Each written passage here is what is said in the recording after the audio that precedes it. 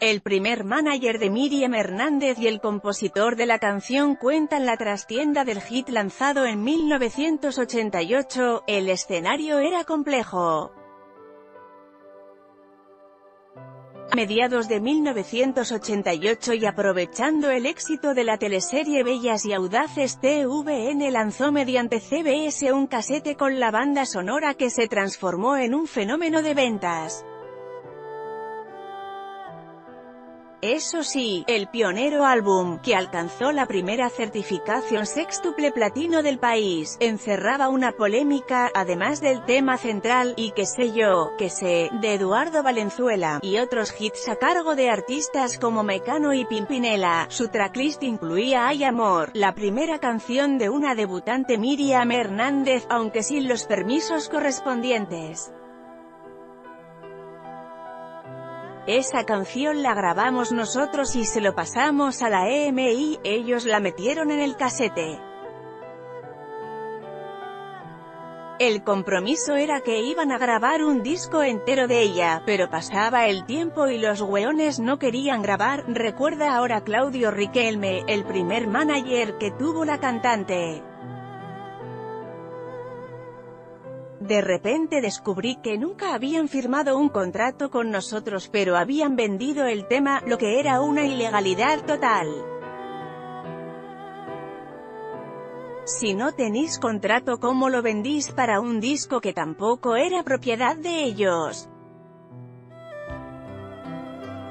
No había contrato, no había ninguna nada.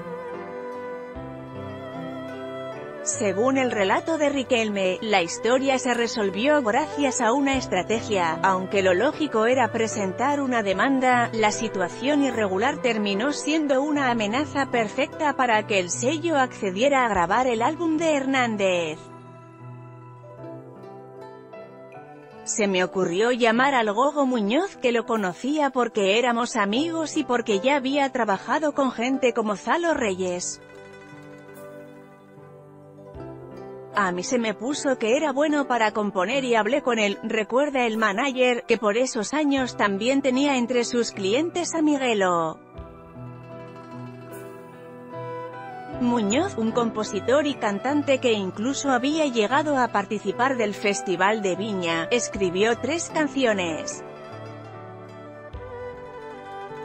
Entre ellas, la que se convertiría en el gran hit de la carrera de Hernández, El hombre que yo amo.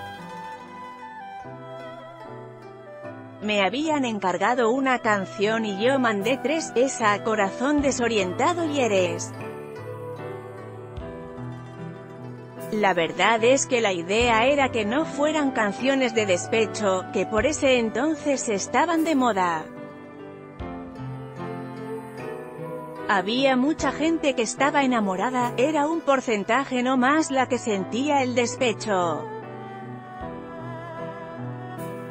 Así lo sentí yo, y por eso desarrollé la canción, cuenta Oigogo Muñoz. Riquelme concuerda, yo le dije que quería que me hiciera un tema que fuera como un himno de amor, porque en esa época estaban de moda muchas minas que cantaban contra los hombres como la Rocío Jurado y la Vicky Carr. La idea era hacer lo contrario y sacar un tema para dedicárselo al hombre, para cuando estuviera de cumpleaños o qué sé yo. Eso sí, el manager advierte que la voz de Huele a Peligro tenía sus reparos. Al principio a la Miriam no le gustó mucho porque encontraba que el gogo era muy cebolla. Yo le dije, pero bueno, ¿qué tiene, si le ha hecho temas al Zalo Reyes, pero veamos. Después me discutes, y cuando escuchó el tema se convenció, recuerda. Porque se dio cuenta que iba a ser un hit, o sea, cuando nosotros grabamos tampoco le tomamos el peso ni pensamos que iba a ser el tema que íbamos a sacar. Pero cuando terminamos de grabar y se masterizaron los temas y todo, El hombre que yo amo era por lejos el tema. como el resto del disco homónimo con el que Miriam Hernández debutó en 1988, El hombre que yo amo fue grabada durante ese año en los estudios Sonotec de Santiago. Eso sí, fue uno de los pocos temas que tuvo como productora Gogo Muñoz, la mayor parte del disco fue producido por Juan Carlos Duque. Una vez lanzada, además, marcó automáticamente una diferencia, fue, de hecho, el primer número uno en el ranking Billboard de la cantante chilena. En ese tiempo vivía en Nueva York, así que yo mismo me encargué de llevar la canción para promocionarla en Miami, todavía me acuerdo cuando me llegó. La primera vez que la escuché lista sentí una gran emoción, recuerda el compositor sobre el single, que luego se popularizaría junto a su videoclip grabado en las dunas de Concón. Pensó que esta canción se iba a transformar en el éxito que fue, no para nada, yo me esmeré para hacer una buena canción, como generalmente lo hago.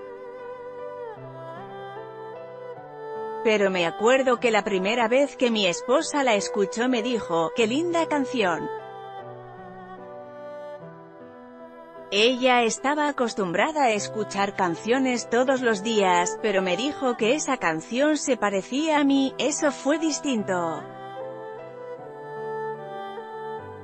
Considera que es una de las grandes canciones que ha compuesto, sí, Lo que pasa es que en Centroamérica suenan todas las canciones pero sin duda El hombre que yo amo es una canción que se ha convertido en un clásico hace rato. El mayor que he escrito hasta ahora, pero puede que mañana escriba otra canción y resulte mejor. ¿Y qué significó el hombre que yo amo para usted en lo económico? Me cambió la vida.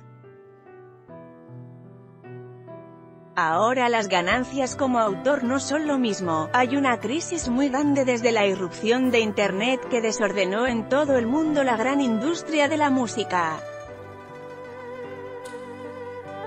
Pero en ese momento, económicamente, me cambió.